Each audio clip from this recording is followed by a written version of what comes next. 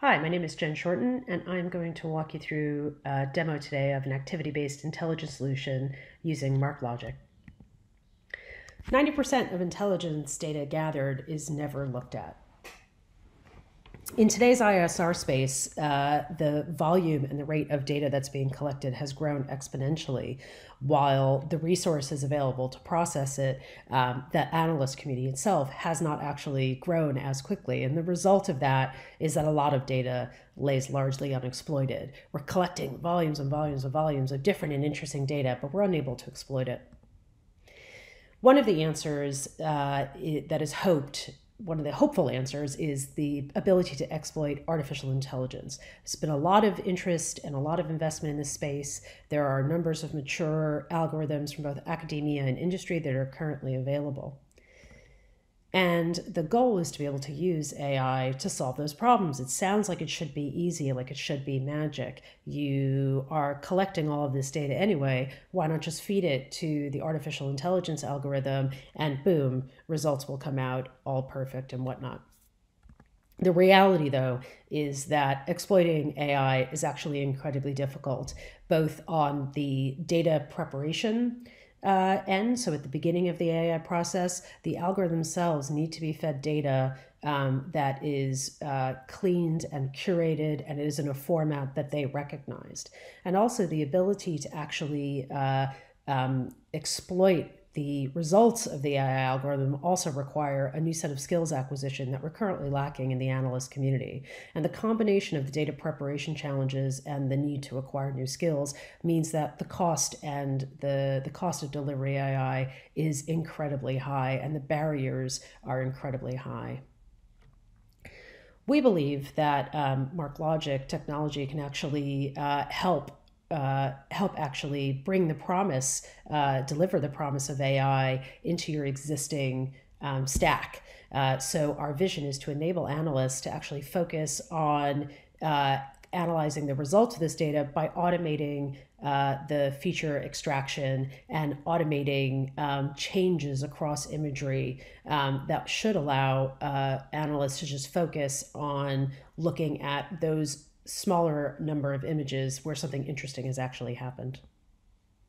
And how do we do this? We use a combination of um, cutting edge uh, AI uh, based automatic feature extraction uh, from EarthCube. In this example here, the EarthCube AI has um, detected that there's an aircraft. It has recognized that it's that it's a fighter type of aircraft, and it has then gone ahead and actually identified uh, the aircraft itself. Has identified a lot of information about it. Um, has put and identified its location and its context where it's located that data being fed to the AI algorithm has been fed from MarkLogic, and the results of that analysis are fed back into MarkLogic. And MarkLogic is able to exploit that data by um, uh, detecting uh, changes between two images. And if the, their changes uh, trigger a rule, uh, we will use our alerting capability to, uh, to alert the analyst to that change. Um, MarkLogic is a flexible multi-model database, and so that allows us to take in the GeoJSON, the image data, the geospatial coordinates, um, uh, and to be able to exploit the data from, to both send the data to the AI and exploit the results of, of the AI uh, algorithm. And the way we make this easy to use is that we're actually leveraging an existing analysis tools and skills. For the demo that I'm going to show you, all the results are displayed in Esri ArcGIS. Um, this is an existing uh, tool set that your staff is probably quite familiar with. And if your staff is able to actually um, interact with the results of AI in their existing uh, analyst tool skill without having to write code, without having to write Python, um, that minimizes the training and upskilling requirements, further reducing the barrier to entry uh, for exploitation of AI uh, in your team. So I am going to switch over to the demo now. And what you see here is uh, ArcGIS. Um, you see an image of uh, an airfield here. Um, I should say that uh, the image that we used, uh, that we ran through the EarthCube artificial intelligence is a slightly different image. So you might see some inconsistencies in the image, um, uh, but I promise you it's all, it's all happening for real. Um, so in this scenario, we've got uh, an airfield and the, the image of the airfield has been passed to EarthCube for observation, and EarthCube AI has actually gone ahead and detected several features and identified them. There are airplanes of fighter type on this airfield that are interesting.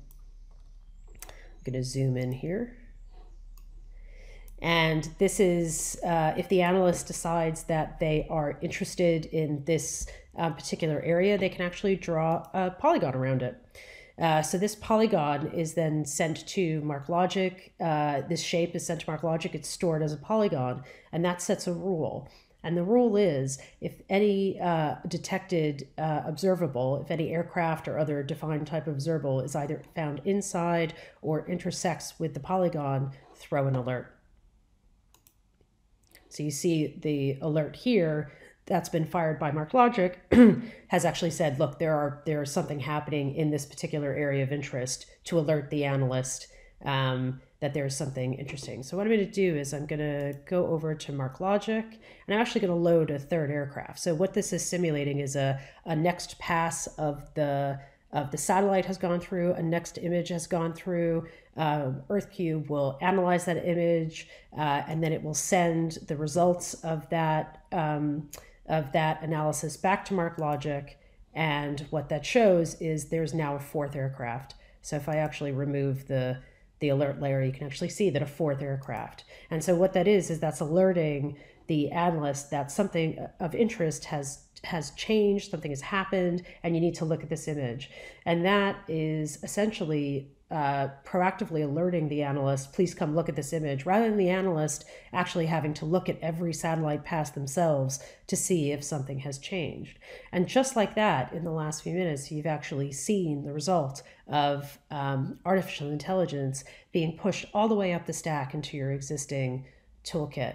Um, your analysts aren't even necessarily aware that they're interacting with artificial intelligence, but it could be that easy.